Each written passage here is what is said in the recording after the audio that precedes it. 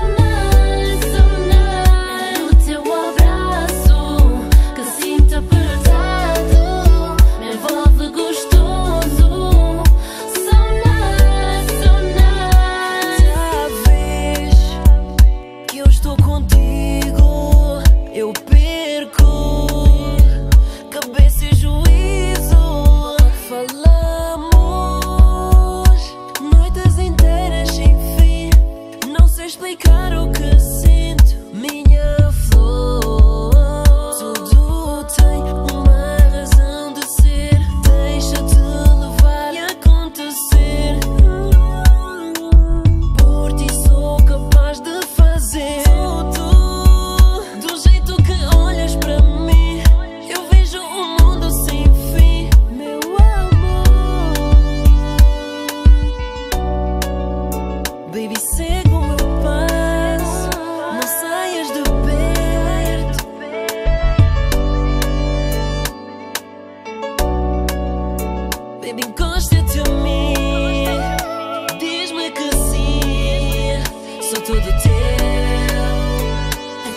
to talk good to one.